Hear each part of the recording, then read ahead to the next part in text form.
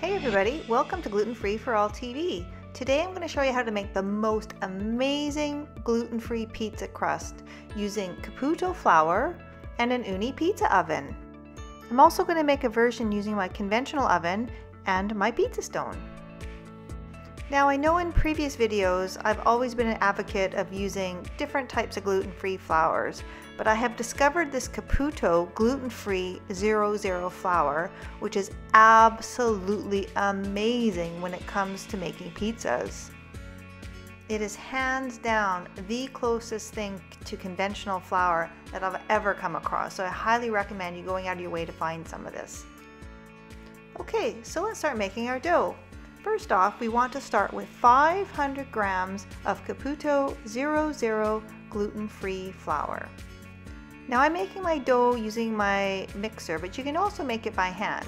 So add the flour to your bowl and then add 10 grams of instant dry yeast to about 14.1 ounce or 400 grams of lukewarm water.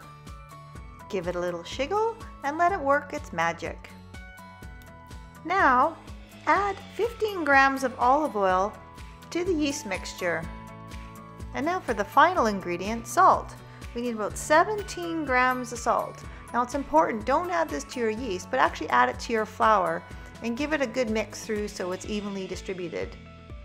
Okay, it's looking good. So now finally we add our liquid to our flour and turn on the mixer and let it run for about 10 minutes. What you'll end up with is an incredibly soft, silky dough. So now what we need to do is form a dough ball. So we're going to put some of this lovely, silky, soft flour on our countertop and we're going to remove the dough from the bowl and we're going to slowly move it around, knead it slightly, make sure that it's not sticking to your hands and form a really nice soft ball. This is already a wet dough, so you don't want to add more water to your hands to help it stop from sticking. But what I have done is add a little bit of olive oil to my hands, so it'll just prevent the dough from sticking and give it an extra smooth feel. So there you go, look at that. You never see gluten-free dough this stretchy or this soft. It's absolutely amazing. So now we just have to let the dough set and rise for about two hours, cover with some cling film, and put it in a nice warm place.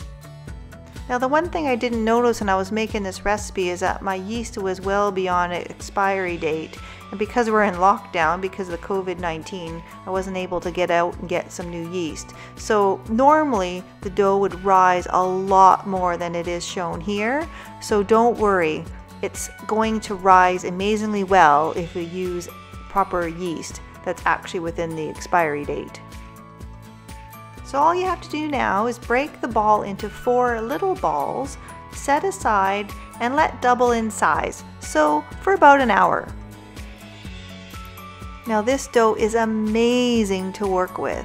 So all you need to do is flour a wooden pizza peel or your countertop, whichever you prefer, and then slowly start stretching the dough ball out from the center. Now, you can't lift it up and stretch it around like a conventional dough. It will tear and break, but you'd be surprised of how sturdy this dough actually is. So you can see here, I'm just pushing it from the inside out, and the outside of the crust is nice and round, almost like you see in a regular pizza. Like you hardly ever see a nice round crust on a gluten-free pizza dough.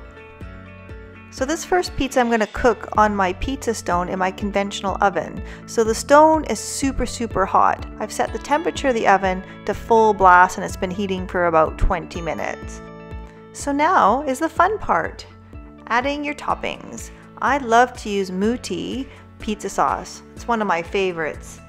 So you don't want to put too much sauce on your pizza because you don't want to make it soggy. But you mean you can use crushed tomatoes, you can use pizza sauce. You don't even have to have pizza sauce actually. Put on whatever you like. Finally, I'm going to give it a nice sprinkle of mozzarella cheese, or you could use bocconcini cheese as well. It's your pizza, whatever you want. Now finally, give the pizza a bit of a shiggle on your pizza board just so it comes free. That way, it's ready to launch onto your pizza stone. Now even though this particular pizza didn't rise a lot, I was still really happy with the dough. The bottom of the pizza crust was nice and crispy and cooked right through. Now the other day I made a version in my Ooni outdoor wood-fired pizza oven and it turned out amazing.